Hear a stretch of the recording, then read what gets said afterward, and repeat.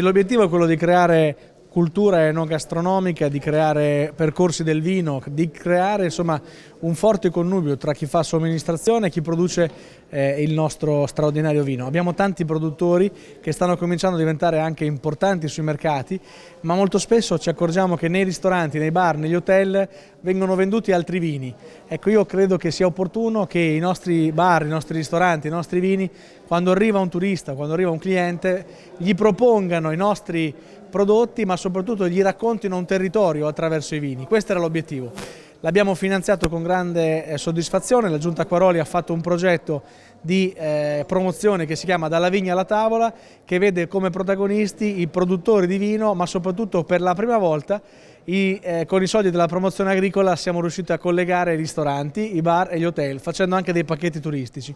È andato molto bene perché tutta la regione ha partecipato, ci sono progetti ovunque, dall'entroterra alla costa, quindi è senz'altro un segnale che questo percorso sia, è molto positivo e da rilanciare anche per il futuro.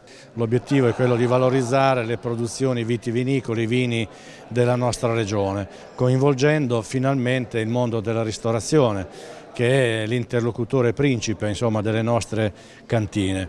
Eh, L'Associazione Ristoratori della provincia di Pesaro Urbino ha presentato due progetti, eh, uno coinvolge 14, 15 ristoranti e uno 21 eh, sono prevalentemente ristoranti della provincia di Pesaro Urbino ma anche di altre, alcune di altre province.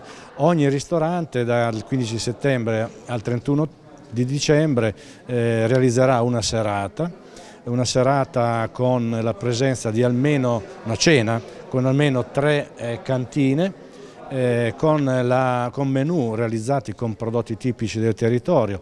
La legge regionale espressamente eh, ricorda che devono essere prodotti certificati dopo IGP o presidi slow food.